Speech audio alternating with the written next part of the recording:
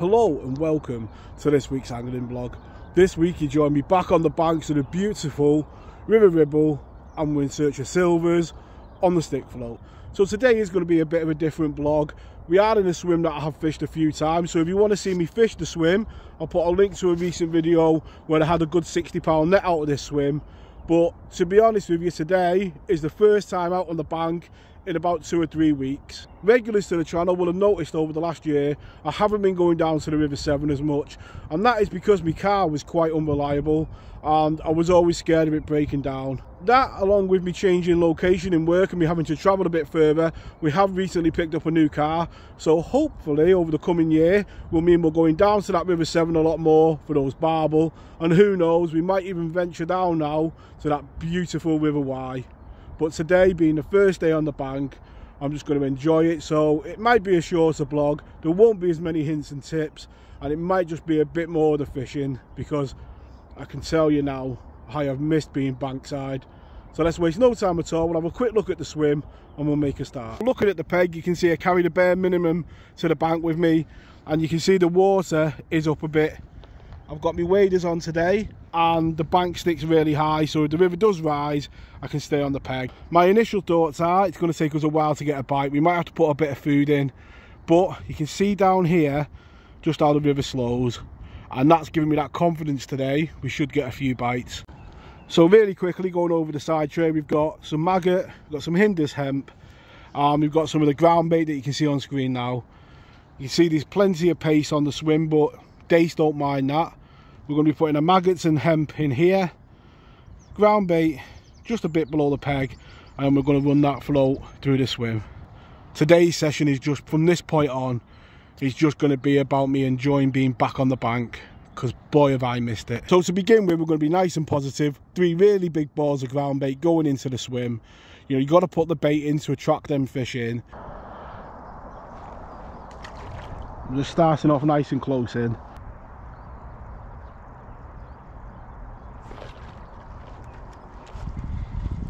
That's how we want to start. Welcome back to the river. Being really positive with that bait and you can see how close in that fish is coming.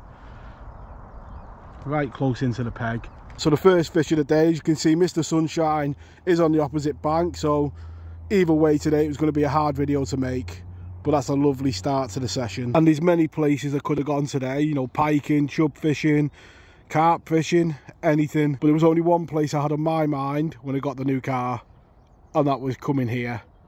The river isn't in amazing condition. It's going to get plenty of bites, hopefully. But even a half chance of getting here today, I was always going to take it.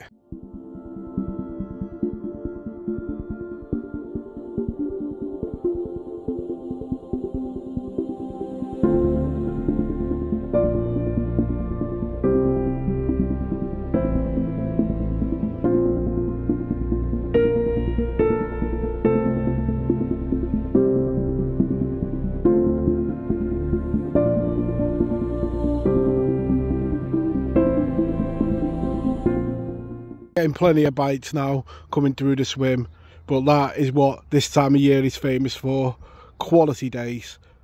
And to be honest with you the last bit of the season always goes by too fast. Before you know it it comes to an end all too quick. And another quality dace coming to the net. It'll be a nice net at the end. There'll be plenty of quality in it because we've caught nice fish. Has been patchy at times and I have wondered whether Mr Pike is about because the fish just won't seem to stay. But when you do get them you can't be disappointed with that. So every couple of runs through just feeding a nugget of that ground bait you can see there I've added that hemp to it. Nice squeeze into a ball it's only a shallow swim go straight to the bottom and I think it's that smell today that's keeping them fish in the area. So when I said I thought there was a pike about just been bringing a fish in it's just gone very solid and so you have to be very lucky to get them in.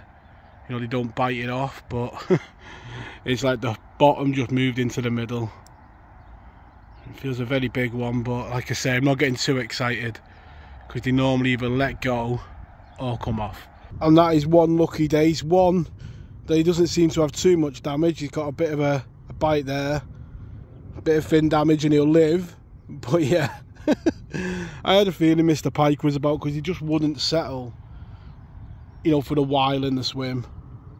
Sometimes you get lucky, sometimes you don't. And we'll let him go straight back. And on the subject of pike, you know, there are some lovely pike in the Ribble and I do walk past some really good swims to come dace fishing.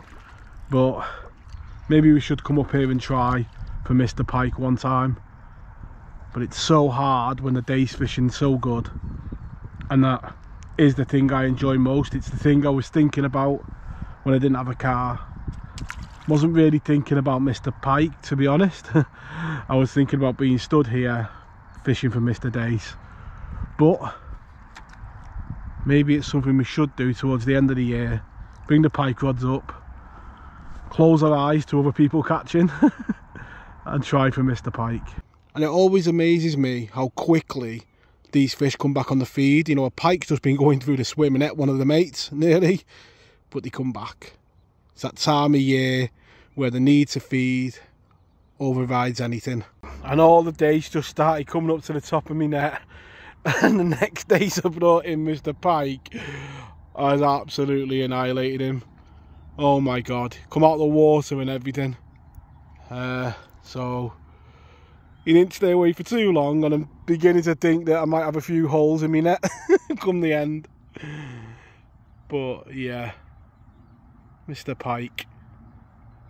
It's been a topic of conversation today really and we really should, like I say, come up here more. But to be honest with you, they don't normally do this. Very rare to have a fish actually taken. You know, normally you just see him swirl, but he's definitely on the feed. And like I say, I don't get too excited because nine times out of ten you don't get him in. And normally I just want to see him, but I think I've seen enough of him when he jumped out the water. I think he's beginning to realise that his supper is connected to something else, but yeah, you've gotta laugh and like I say, you don't get too excited. He's down there somewhere and we'll just take a time and see if we can get him in. And the reason I don't get too excited is because Mr. Pike nine times out of ten always wins. So the session comes to an end there now and as you can see on screen we've had plenty of bites today on our return to the River Ribble and I've really enjoyed myself. So at the start of this video, I was planning on not doing much filming at all and just, you know, doing a bit through the session and making maybe a two or three minute video. The beauty of fishing though, it takes you on that adventure, doesn't it? And Mr. Pike has been part of that today we really do need to come back up here with the pike rods or at least start bringing a pike rod with us and putting it out downstream. Now we have got more reliable travel, pop down in the comments down below if there's any venues that you'd like me to try that are a bit further afield than the northwest. I really would be super excited with that reliable travel now, fingers crossed, to go a bit further afield. With that, all that remains is for me to wish you all the tightest of lines in your fishing and I'll catch you all next week. Tight lines.